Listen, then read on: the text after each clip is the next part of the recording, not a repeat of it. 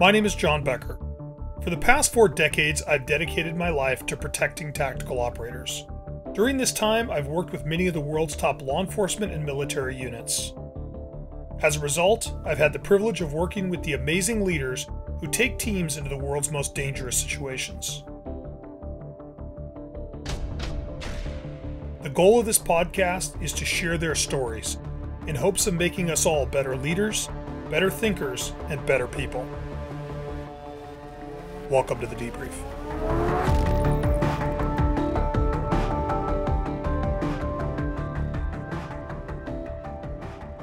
My guest today is Dana Vilander. Dana spent 32 years with the Los Angeles County Sheriff's Department, working 26 of those years in the Elite Special Enforcement Bureau, or SEB. First as a canine for four years, then as a SWAT operator for four years, and finally as a tactical medic with Emergency Services Division for 18 years. Because of his unique experiences and very broad skill set, Dana has trained with and provided training to some of the most elite military and law enforcement units in the world working in tactical combat casualty care, as well as rural operations, vertical access, and rope and high angle rescue work. Dana, thanks so much for joining me today on the debrief. Thanks for having me, Jon.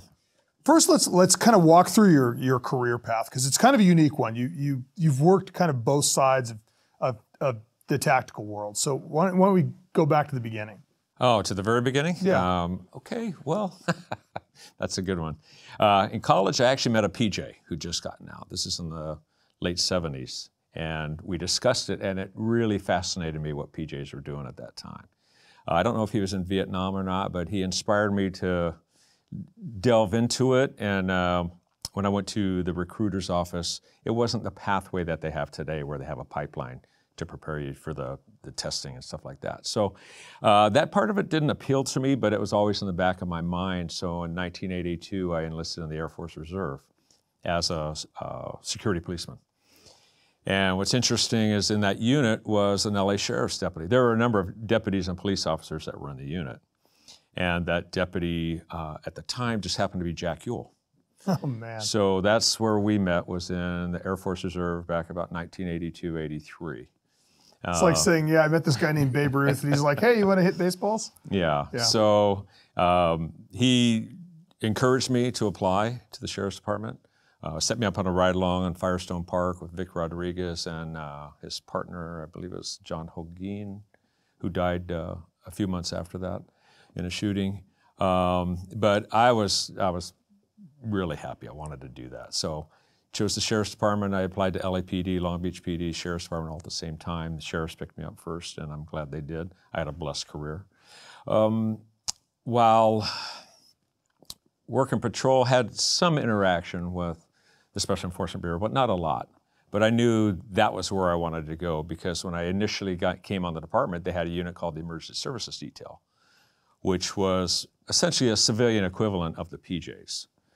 Um, so I was in the reserves until 1990, May of 1990. Um, I tested for SEB itself, SED for the SWAT side, and I was encouraged to try out for canine as well. So I tried out for K9. Uh, during that time, uh, Saddam Hussein invaded Kuwait in 19, uh, August of 1990. And if I had still been in the reserves, I probably wouldn't have got to the Special Enforcement Bureau. So it's kind of fortuitous that uh, you know I got out in May uh, because the unit did go to Kuwait. And uh, K9 picked me up in January '91 and went through SWAT school got the canine, uh, had you know countless operations like you do as a canine handler, and um, some years, oh, it was about four years. I went over to the SED, so the SWAT side.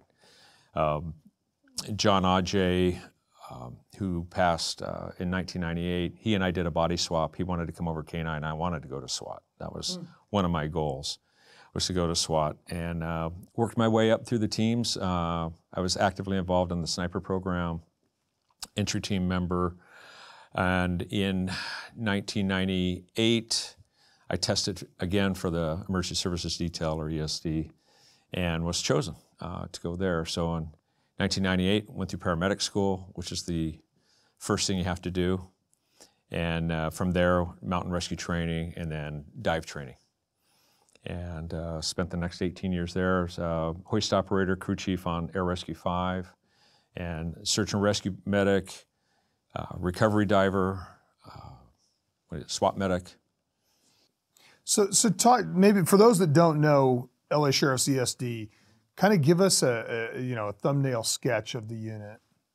So when I got there, it was an 18-man unit. You had three sergeants, uh, 15 deputies, deputy paramedics. So everybody had to go to paramedic school, and uh, you had all this training and experience. And at the time, we we would have five guys on a shift basically. So you had two in Air Five, working as as uh, helicopter rescue medics, and then the other guys were on the ground driving Angeles Crest, uh, Azusa Canyon, Tujunga Canyon. You know, you're you're up in the mountains.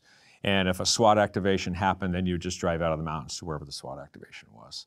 And so you worked intimately uh, with the search, the volunteer search and rescue teams for LA County, um, and you pretty much were busy all the time. Uh, they had a, a, a, unique schedule. It was a 72-hour on uh, schedule, six, three three days on, six days off. Hmm.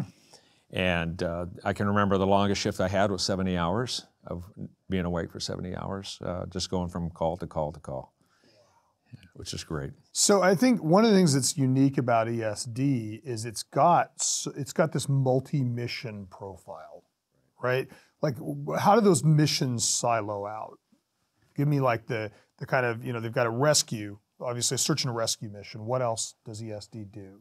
Well, the, the, the tactical medics on every SWAT operation, and SWAT operations basically uh, were the king. So if, if you were, well, if you're actively involved in a search and rescue mission, say on the ground, um, they would just have to call guys in to, to cover the SWAT mission. But if you were just out patrolling, like I said, on Angeles Crest or something like that, and a SWAT mission came in, you'd have to respond to the SWAT call. And uh, that was pretty much the primary function because uh, when I first got there, uh, if you think about warrant services and, and, some of the barricades where the, the entry team wants to pull the front door, the, the front hardened door off of the, off the house. It was ESD that would do that. We had the only truck that, that had a huge uh, like boat cleat on the front of the truck, and somebody would go up with the, the big fish hook like this with the with the cables attached, and hit hook them to the front door, and then we would tie it off real fast and then drive back and, and pull the door off the off the house. And that was that was one of our missions on for uh, barricades, uh, but more particularly on the warrant service, the early morning warrant service. That was that was a real common thing we were used for. And then we're there obviously as, as medics. But then there's also a dive component to ESD, right? Right. Me, so the history of ESD. Let me do that real quick. Yeah, so sure. the Special Enforcement Bureau, or the Special Enforcement Detail, started in 1958. It was basically like a saturation patrol team of guys, you had to be over six feet to be in the unit at the time. So real policemen. So it was a goon squad. yeah, pretty much. Um, so in 1966, Sheriff Pitchess started, uh, created the Emergency Services Detail. And the, the job was to have active duty deputies up in the mountains on search and rescue missions. And the, the unit with Frank Waldron uh, was the sergeant and the, the, basically the founder of the unit. Uh, they picked up the recovery diving. Uh, so anybody that goes missing, any uh, object, evidence, anything like that, planes in the ocean, if they need to be recovered, it was the ESD's job to dive on those things. So typically it was in lakes, pitch black water, no visibility whatsoever. Uh, for evidence and dead feeling, bodies, feeling your way around, feeling your way around, yeah, exactly. So, but but we would uh, also be out at Catalina around Catalina Island and then also around San Clemente Island. So San Clemente Island is actually a piece of LA County. And the waters around it, you know, you have a lot of active scuba divers, uh, fishermen, things like that. So if a scuba diver went missing or died off of San Clemente Island, ESD would do the scuba dive death investigation of that, which they still do today. They do all the dive uh, accidents or dive death uh, investigations out of the special ESD. So I mean, that's a pretty, especially for a law enforcement unit, that's a pretty broad skill set. You've got a dive component, you've got you know ropes and, and high angle rescue combined with tactical, you know, combat casualty care. Right. All in all in one unit. Right. So it, it does take a lot, but uh, luckily, I mean, train, retraining, uh, constant training. But luckily, like with uh, let's just say Air Rescue Five, um, you're using all of those skills on, on an almost daily basis. When you, when you load the helicopter, you have your dive gear, you have your medic gear, you have your rope rescue gear, and you have your SWAT gear that all goes in the helicopter and goes with you wherever you go. The only thing you don't have is tanks, because tanks are rather heavy, you know. And so they, they, but those are staged around the county. So if a dive uh, came up at the operation, you'd change your into your wetsuit while flying to the to pick up your tanks or flying to the uh, the dive scene and just make it happen like that. So a big component of ESD is kind of the the tactical medic thing. Early in your career, talk to me about what that was like. Like, what was the uh, you know at some point TCCC becomes a thing. Right. Prior to that, what what was the the strategy? That's a good question because uh, there's a real good history of of SEB uh, in a in a book. Uh, I don't know if you've seen it by John Coleman. But uh, the history of that is there. And um, basically, in the ESD, were more like first aiders than, than anything else. They started going to paramedic school in the early 70s when LA County initiated the first paramedic institute. So they were getting the paramedic training, but, but still, they were doing basic, more like basic first aid. They could do IVs and things like that. At, so when they, they integrated with SED in, uh, I want to say it was 1970 to 71, they were still kind of in a first aid mode. Roll into the 80s, uh, there's a lot of doctors around the country who were interested in, in the tactical world. And uh, Rich Carmona was one. Um, Rich Carmona, eventually Surgeon General Rich Carmona. Yes, that Rich yeah. Carmona out of Pima County, Arizona. Yeah. He has an interesting career. But uh, so the, the development of, and they called it TEMS, or Tactical Emergency Medical Skills, uh, at the time was still more like first aid. You know, you could do your paramedic skills, but the tactical component really hadn't gotten hold yet. So fast forward to 1996.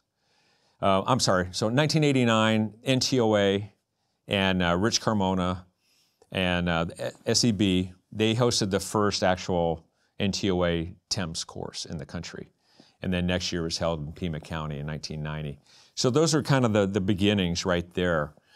Uh, through the nine, early 90s into the, about the time I came into the unit, they started a tactical EMT program, but it was still kind of a medic first aid kind of a course. Yeah, it's still not a lot of it's EMT. We're not yeah, we're not we're not there to the T triple C yet. Yeah, T triple C as a concept started in 1996 with Black Hawk Down. Uh, well, 1993 was Black Hawk Down, Battle of the Red Sea. Yeah, and um, 18 dead and 73 wounded. And uh, Frank Butler, John Hagmann, and then there was another doctor out of the military with the last name of Butler they, they wrote this paper, and what they did was they did a retrospective studies back to World War II, Korea. What are the patterns of injury? What are the patterns of preventable death? And when they looked at what happened in, in Mogadishu, they're saying that there's, there was a correlation there. So that you could die from getting shot in an extremity within two to three minutes if nothing is done for it. And my first EMT class back in 1978 at, at college, uh, tourniquets were forbidden. You you never put it. If you put put a tourniquet on that limb, you're going to lose that limb. Yeah. So you just yeah, didn't, I remember that. You just didn't put a tourniquet on. And what what these uh, doctors advocated was tourniquets, uh, pressure dressings, wound packing, things that were not in the normal world, like you see today will Stop the Bleed. So it was it was revolutionary in 1996. There was only one military unit that actually adopted it back then, and that was uh, when Stanley McChrystal was the colonel, the, the regiment commander of the 75th Ranger Regiment. Instituted it. They have a great program to this day, uh, and but it was still slow to to pick up in the rest of the military. In the civilian world, there was still no knowledge of this, other than the fact, unless you saw the the paper itself, the tactical. Yeah, I mean, nobody carried tourniquets. No ambulances didn't have tourniquets. No. Like it was not a it was not a thing. Right. And, and when you say preventable death, if my understanding is correct, what you mean is if we had had basic life-saving capability, Yes. that person survives. Yes. For instance, they bleed out from an injury that you could stop the bleeding with. Right. So if you want to and, and look back at some of the old first aid training manuals from EMT classes, from colleges, whatever it is, when they're talking about um, what's the, the common acronym for first aid? ABC. ABCs, right? Airway, breathing, circulation. Well, in those manuals, if you actually go back and look at it, it, it will say in there, and if, by the way, if the person is bleeding severely, stop the bleeding first before you address anything else. But that's, that was completely glossed over. Well, it was like, oh, put a little pressure on it. Right. and yeah. Oh yeah, elevation. Yeah, yeah. Yeah. Elevate it and put pressure on it. He's missing a foot. Uh, lots of pressure? Yeah. Yeah. So that was uh, that was what they did was they brought this to light. You know that this was good. Let's go up a few years. 2001, Operation Enduring Freedom, Afghanistan. Even the military special units didn't really follow TCCC at that point early on.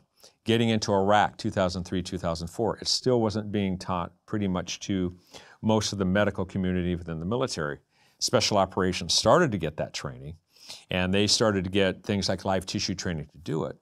But what was the problem with all of the training that the military is getting, and these doctors identified that was the, the, the training. If you, if you took advanced trauma life support, say as a course, as a doctor or as a medic, whatever, you, you went to advanced, it's based on being in a hospital. And you have every resource in the world when you're in a hospital. But when you're on a target house, on a SWAT operation or on a military operation, you're, you could be hundreds of miles away from something, or even in LA County, if you're in the high desert, you could be 60 miles from a trauma center. And what, what do you have as your medical supplies? Usually it's going to be in a backpack Yeah. or even smaller if you're a team without a, say, a dedicated medic, and you may have an individual first aid kit.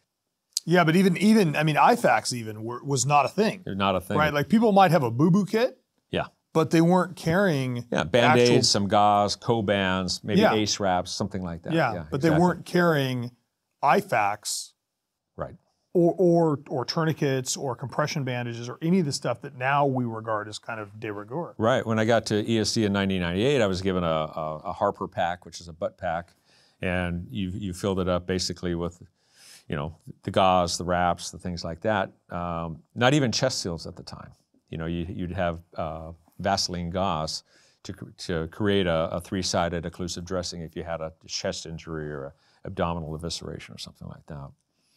So that came later. Um, 1998, when I got there, paramedic school, like I said, dive school, mountain rescue school, got on the helicopter, started flying. And then it was about that time we started to see a transition in the guys from the unit. Um, the older guys that, that were retiring, and then more guys were coming in. With Iraq and Afghanistan, you started to see how the, turn, the, the tourniquet started to take hold because they had to, because all the blast injuries that were happening in Iraq. Yeah. I mean, it was pretty much some, a lot of catastrophic injuries. And the, the early tourniquets that they had was the CAT tourniquet by North American Rescue. About 2004, uh, TACMED Solutions, Ross Johnson developed, he was a Special Forces medic, developed the, the, the uh, SOF-T. Soft T. Yeah. And that was, those were basically the two basic tourniquets, uh, two go to tourniquets on the market at the time. And there were others out there. You had the NATO tourniquet, you had different people doing different things, but those are the two basic tourniquets. Um, I was fortunate enough in 2000 to be flying Air 5 when two PJs from a special tactics squadron on the East Coast came out to fly on Air 5 with us. And I maintained contact with one of them, Mike, and through the years, he guided me towards military courses. And one of them that he guided to me is John Hagmann, one of the writers of the TCCC paper. His company, Deployment Medicine International, they were doing live tissue training for the, for the military.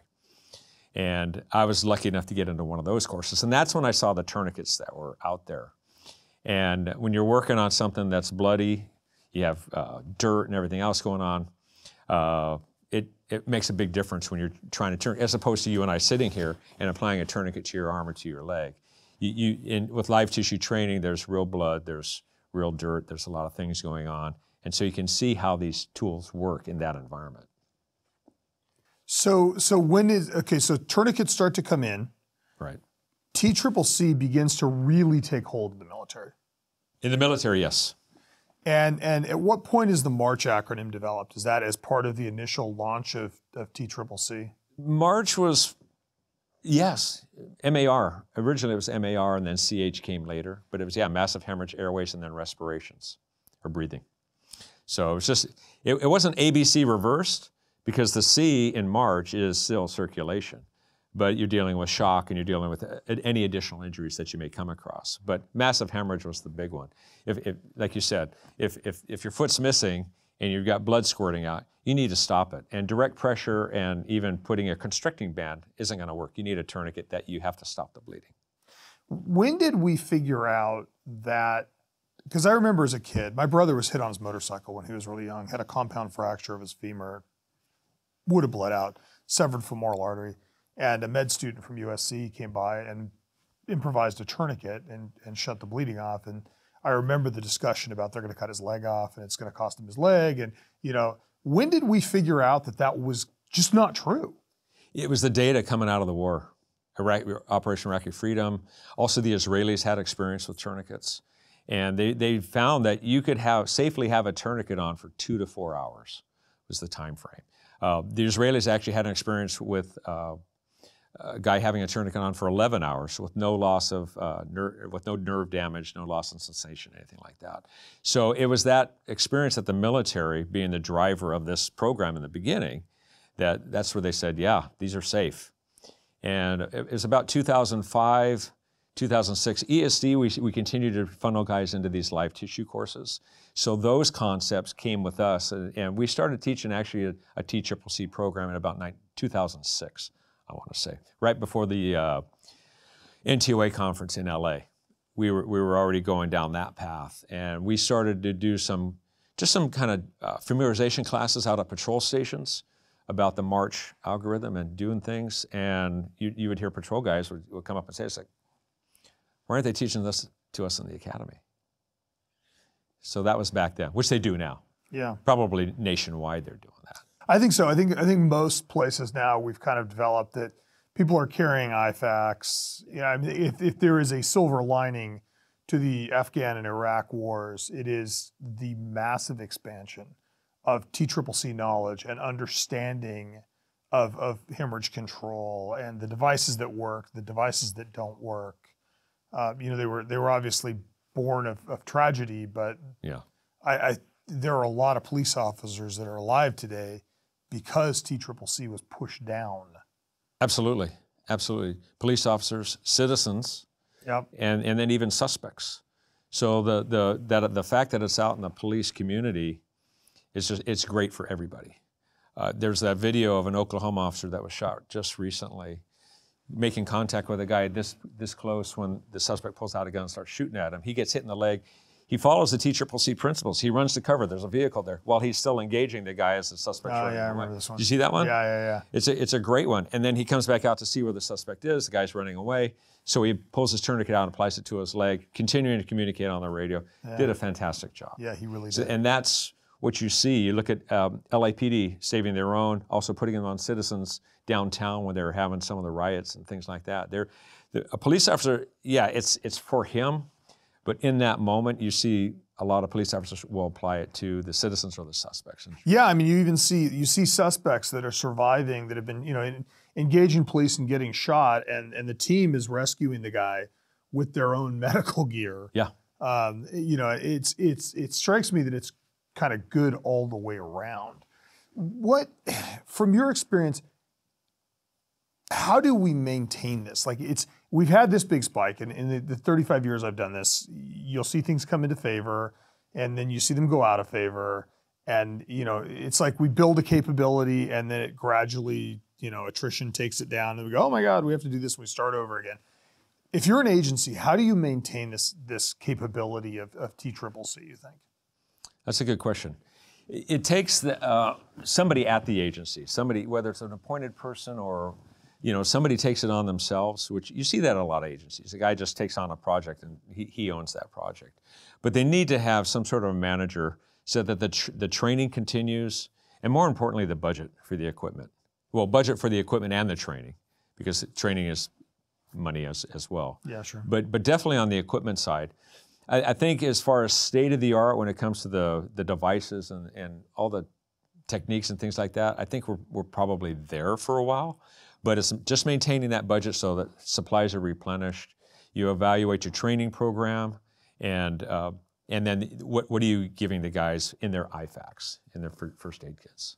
So let's let's dissect that a little deeper. So first, starting with the training, what what in your opinion, uh, how many different levels are there of training here?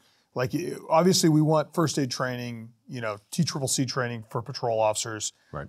SWAT team's probably a little higher level. SWAT medics. How, how do you dissect that in an agency? Take a middle-sized agency, you know, 500 officers. What what? How many different levels of expertise would you try to implement? Oh, I would I would keep it at maybe just two levels. Uh, so, like for the SWAT team, because SWAT teams train more regularly than I think patrol officers do. Sure. So, you know, a one to two day program every year for patrol is fine. I okay. Think. Well, I, I, wouldn't say fine because I would obviously want it better. But yeah, but, but uh, I think, and on the SWAT side, you know, every quarter they should have a day, at least. You know, you look at the initial training. Usually, you're talking about you go through the TCCC program then you're showing them the tourniquets. You, everybody goes to the tourniquets. I think the next phase is that putting them into the the uh, a training operational mode where they're coming upon casualties and having to deal with them. And SWAT teams are pretty good at doing that too. Yeah, it's interesting. One of the things that we're seeing emerging with a lot of the teams we're working with is is kind of a, a for lack of a better term, like a three-tiered approach where you've got IFAKs for individuals, you have a team medic who is carrying a backpack and has other other levels of equipment, and then kind of a third tier of equipment, which is really mass casualty care. Right, it's throw bags. It's you know. Right. Um, right. What are your thoughts on that? Uh, I, I agree with it. We had bigger backpacks in our armored vehicles for calls. We would have uh, rope access equipment uh, in our Bearcats, and then we would also have the bigger ones for the for the mass casualty. And it makes sense to have the mass casualty stuff because you are going to be, you look at San Bernardino, and as the team makes entry and you have 30 casualties on the floor, you know, what do you do? And, uh, you know, the companies, NAR's done a very good job of it. TACMEDS has done a good, I'm sure Safeguard Medical. They all have these mass casualty bags where you can just drop a kit as you go, roll a person in the recovery position so they don't die an airway death, but then people coming in will see, see an IFAK next to them or something like that, or a throw kit that's down on the ground next to the casualty. Absolutely. Yeah, I think one of the things that came out of San Bernardino is there are a lot of people that are alive today that would have died had there not been a tactical medic or medics who who had the ability to quickly look at somebody and just put them in a recovery position. Right. Right. They're unconscious. They're having a hard time breathing. Just roll them into a recovery. And that's the thing that should go out even to patrol. Because who's, who's going to be first on scene a lot of times? Almost always. Patrol. You know, I mean, luckily at San Bernardino, the teams were training just down the road. So they were on scene like that. But and, and on a normal MCI, normal active shooter with multiple people down, it's going to be patrol. just like the active duty procedures have changed from from Columbine, where we're going to wait outside and wait for the SWAT team, to now, if you're a lone officer, you're supposed to go in there and address this guy, and, and, and eliminate the threat if you can. So that's a that's a quantum leap from where we were 25 years ago with, uh, with Columbine. So Dana, why don't we start with individual uh, gear. Talk to me about an IFAK. What what should be in an IFAK?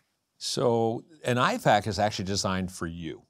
It's not for you to take off and, and use what you have in your kit on somebody else. So it's it's designed and the, the commercial kits that are out there. So you'll have typically you'll have a tourniquet, you'll have uh, one or two chest seals, preferably two chest seals, which we can talk about, uh, and then you have a, a gauze whether hemostatic gauze or just regular gauze, and then you're going to have some sort of a compression wrap. You could have scissors, you could have gloves, you could have a, a, casualty card in it, you know, to make notes if you wanted to. But that's typically what you see in an IFAK. So why don't we walk through the components, starting with a tourniquet. Um, major two major tourniquets are still kind of CAT and SOF-T, right? Right. Yeah. There's some really uh, good ones from other ones. Like I said, Safeguard Medical. Some other companies have, have all come out with good tourniquets that are all Committee on TCCC approved. Okay, so is that kind of the industry standard? Like, look for something that's committee on TCCC approved. Yes. And that's the you know good housekeeping seal, Right. as it were. Um, okay, and then what about gauze? Well, back up to tourniquets just for Yeah. a second. So for a, a SWAT guy, um, he should have a tourniquet where somewhere on his plate carrier vest, whatever it is, where he can get to it with either hand. Because if he's shot in his left arm or shot in his right arm, you have to be able to reach it with either hand. Um, and then in the IFAK, you should probably have a, a second tourniquet Uh, because you could get shot more than once. You might have to treat yourself that way. Yeah, we just actually just embedded into one of our plate carriers now a tourniquet into the bottom of the vest, where it's just it's it's at your stomach, it's there all the time, and that's the you know I use this for you. And what do you think about the idea of of locating IFAKs and tourniquets and those kinds of things on, especially with SWAT cops, putting it someplace that everybody knows where it is on a guy? There's philosophical differences on that. Um, it's it's something that you know I think it's a good idea. If everybody has their IFAK in one place, everybody knows where to go to for that IFAK. If if I come on Jon and Jon has his IFAK on his right shoulder, and I go to look for it, you know, down where everybody else has it, you know, you're just delaying care. Our, our job is to, to keep every drop of blood in them. So you're, you're just having that seconds delay if, if you have to find the guy's IFAK or whether it's in his cargo pocket or whatever it is. So I, I like the idea of having them located the same. So and and does it make sense for a team to use the same IFAK and the same gear? Because you know you'll see teams where everybody has the same gear, and you'll see other teams where everybody has individual gear. What are your thoughts on that? Well, Is the individual gear because they're having to buy it themselves? That and that's an issue, right? So if you're going to do something like that, everybody on the team should know what's in each each person's IFAK, and then you have to pull it out and show them how to use. If you have a different IFAK or a different tourniquet than everybody else, you better show everybody how to do it because you might be unconscious and they have to apply your tourniquet on you. And you said a, uh, said a second ago, like we need to keep every drop of blood in their body. Talk to me w- the, about the significance of that. Right. So if you go back to MARCH from the original TCCC paper, tourniquets stop the bleeding.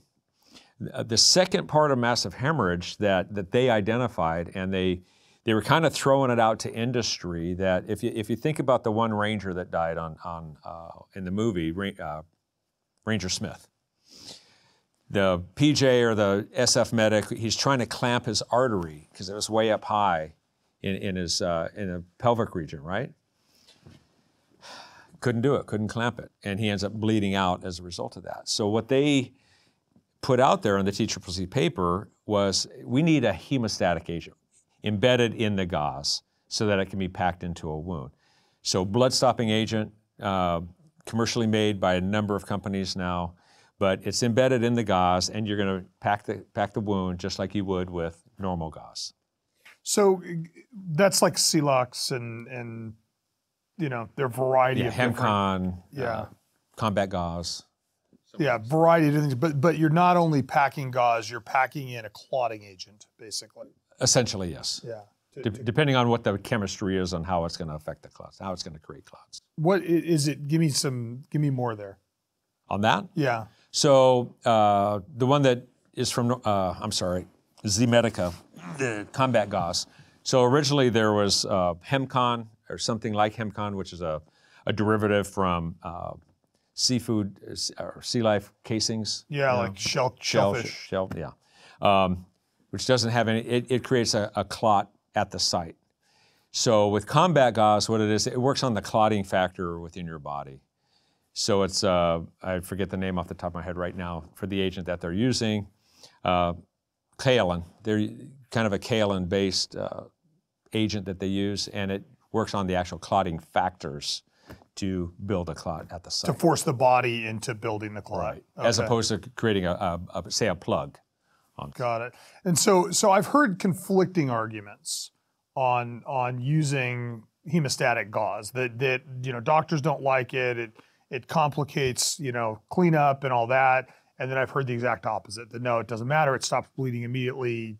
That's the right answer. Well, that's a that's a really good uh, thing to bring up because when you're teaching stop the bleed to, to civilians now, And that, that's where we're at in society today. This all came from TCCC. But when you're telling, talking to civilians, you say, put anything in that wound that you can possibly put into it. T-shirt, a sock, underwear, anything, dirt, grass, stuff it in that wound if you have to, if that's all you have available to try to stop the bleeding. So to, to say that there's an argument from doctors that a hemostatic agent embedded in gauze is a problem, nah. So, so when you're doing that, right? When you're you're shoving gauze, you're shoving a sock, you're shoving whatever. What are you really trying to do? You're trying to get in here so that you're you're pinching the artery down packing it as tight as you possibly can to keep it that way, and then you're going to wrap it with a compression wrap to, to keep it right there.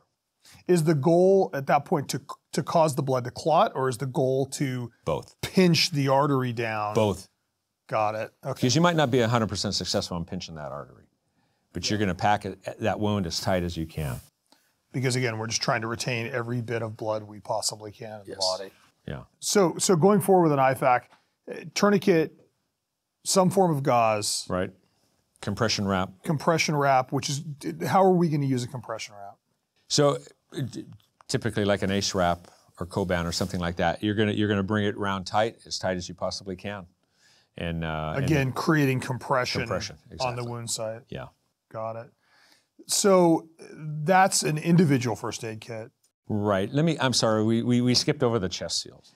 So when I started, for to create an occlusive dressing, you had uh, petroleum gauze, and you would use tape to create that three-sided occlusive dressing over a hole in the chest. What industry did was they created chest seals using a, a gel substance, hydrogel, kind of a substance that said it would stick. If you think about normal first aid tape that you have in the house, or the white first aid tape that you have, if you're sweaty or if you're a hairy man, doesn't work. It's not going to work. Well, the creation of through industry of these chest seals, it will stick. And then it, they all have now, so you had a three-sided occlusive dressing so that air could escape if it needed to. Now they all have vents in these chest seals so that you, all you do is have to put the chest seal over the wound and it, it should vent on its own. And the intent is to maintain the vacuum integrity of the chest? Right. We don't want air coming in. We don't any, want any more air even exiting an injured lung into the chest cavity that can't escape, but we don't want any air coming in from the outside also. Got it. Okay, so that's that's individual first aid kit. Right. Let's move up to a team. Okay. What what do you think the best methodology for a team to carry their gear? Everybody's got an IFAK, I'm assuming to start. And then is it is a each of the tactical medics then is going to carry a secondary backpack? Right. Yeah. So when we were when we were doing uh, SWAT operations, warrant service or barricaded suspect or whatever, I had a small pack, but I had four additional tourniquets. I had more hemostatics, more gauze, more chest seals, and then you know some of the diagnostic stuff that that you, that you would need, you know, like a, a pulse oximeter, things like that.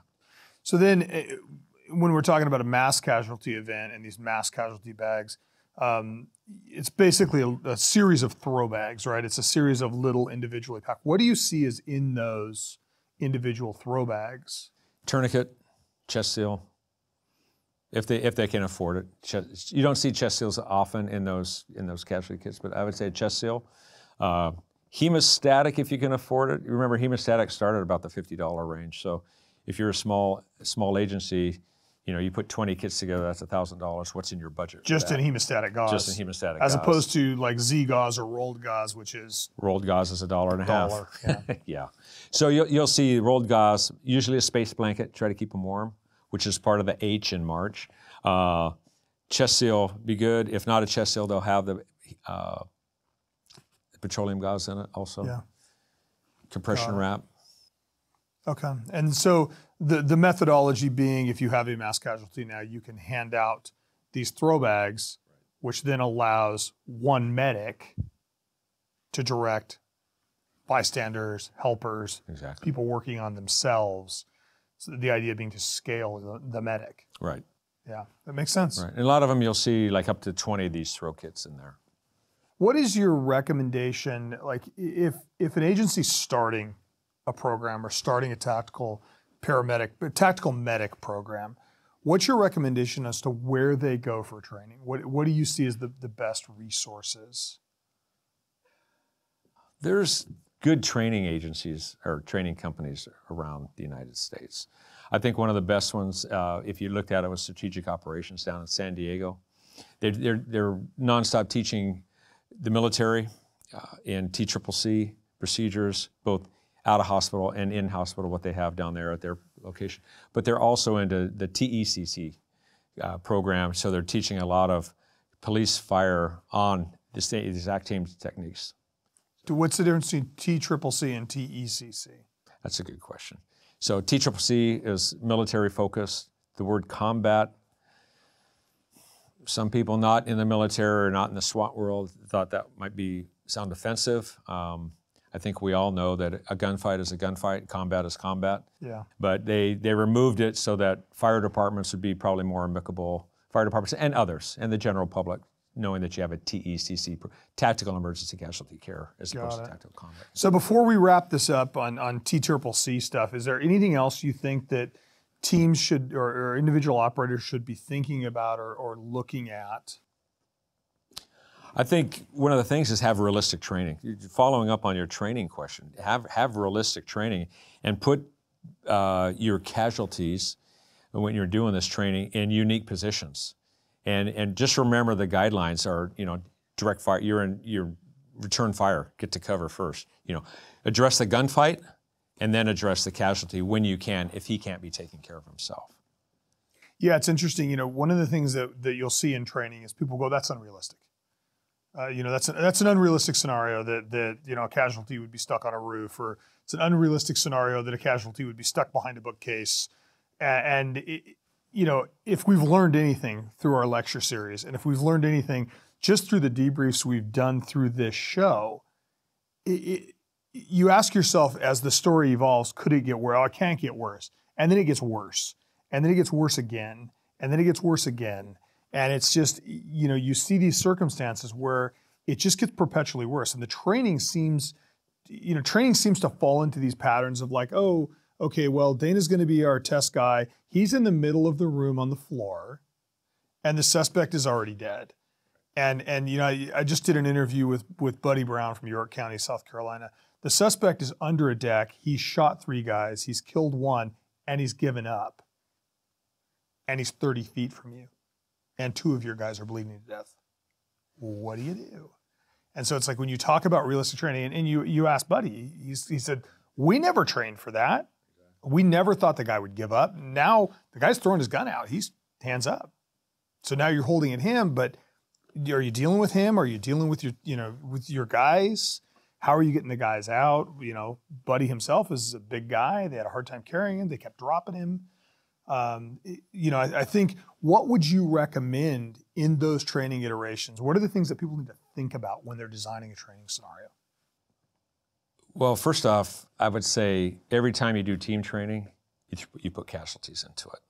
The more often you include casualties in your team training, you know, for, for, particularly for the part-time teams that maybe get once a month or twice a month, every time you do entry training, you should be putting casualties in there because exactly what Buddy was saying, you know, you never train for that. If, if you never train for that scenario, how will you react?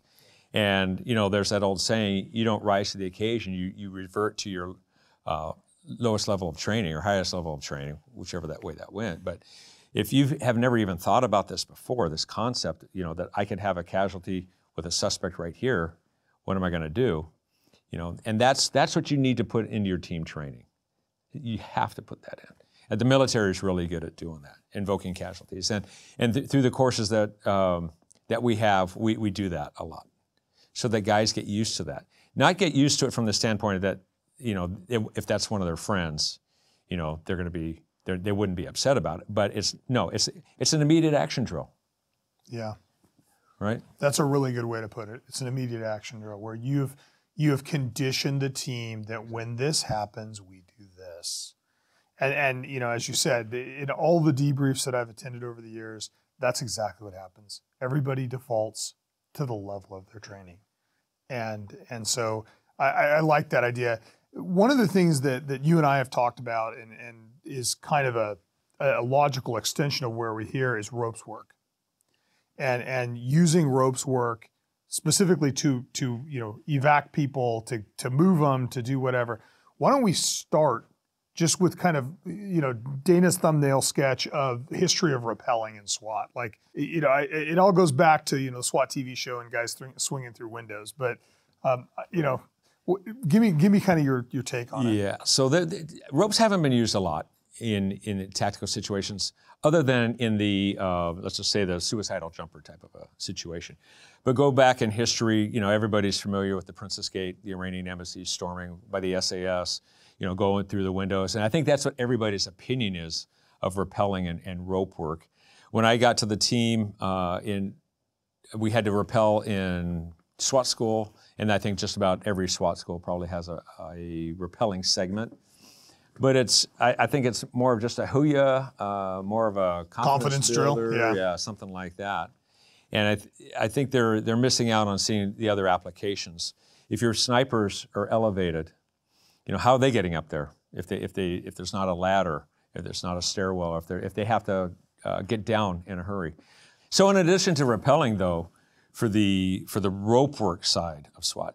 Most teams don't don't do it. You know, like I said, they have the suicidal jumper considerations where a negotiator will be out there, and there's there's very few teams that are actually doing that. I know San Diego is doing that. LAPD does that. Um, at, the ESD handles that at the Special Enforcement Bureau, and I'm sure New York NYPD, and you know I'm sure agencies around the country are doing that. But it's an interesting thing when you talk about doing a, a tactical rope access course with teams and they're from small towns. They say, oh, well, we only have two and three story buildings, so I don't need to worry about that. And if I could just tell a quick story in a oh. conversation with, a, with an LAPD officer was they, they had a, a crazy guy on top of a restaurant. He's compliant, but they got to get him down. Fire department won't help him, help them because he's a suspect. He's a crazy guy. Yeah. yeah. So they have to get up there on their own. They get down there on their own. So they use a dumpster to climb up on top of the roof handcuff the guy, he's compliant, and then they have to get him down and they kind of drop him to the dumpster and then he rolls and falls on the ground basically. They thought they did a great job until they watched the body camera footage of that. So, so the question was, how could we do that? And and there's simple, inexpensive tools in the rope world to do stuff like that, like webbing or short pieces of rope. And uh, it's, it, but you have to learn those techniques too. It's, it's going back to the training for the medical side, you have to understand what's potentially out there that you could do. And then you need to see how you could do it.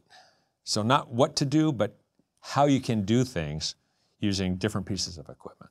Yeah, and I think it, it goes back to the team having as broad a skill set as they possibly can, right? Like it's, it's, I think part of the challenge with a modern SWAT team is there's so many different domains of knowledge that are required. And you know, you see teams where they try to maintain that knowledge for everybody. Um, you also see teams where they build cadres, and that seems to be kind of the emerging strategy. Is that you know Dana's the rope guy, you know Jon is the the medic guy, and you can take the team to a deeper level. Is that kind of what's your opinion on that? No, I agree with that because are you going to be the drone operator? Are you going to be the aerial drone operator? Are you going to be the ground drone operator? Are you the, the planner for the hit that you're going to do?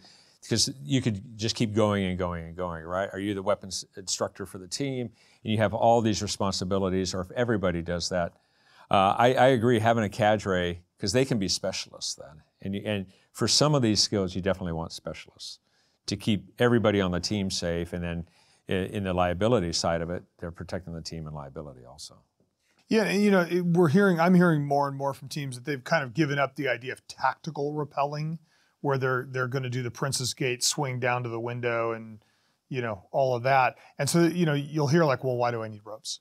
Why do I need rappelling? Talk to me about some of the reasons that and some of the applications that you see for ropes work in a modern tactical environment. Sure. I mean, again, getting getting a sniper up into position that's that's really common here in LA because uh, you know they have the, uh, Academy Awards, they have all these things. It's real even at SoFi Stadium now with the Rams and the Chargers over there. ESD is up on the rafters all the time. Uh, you have protesters that go up there.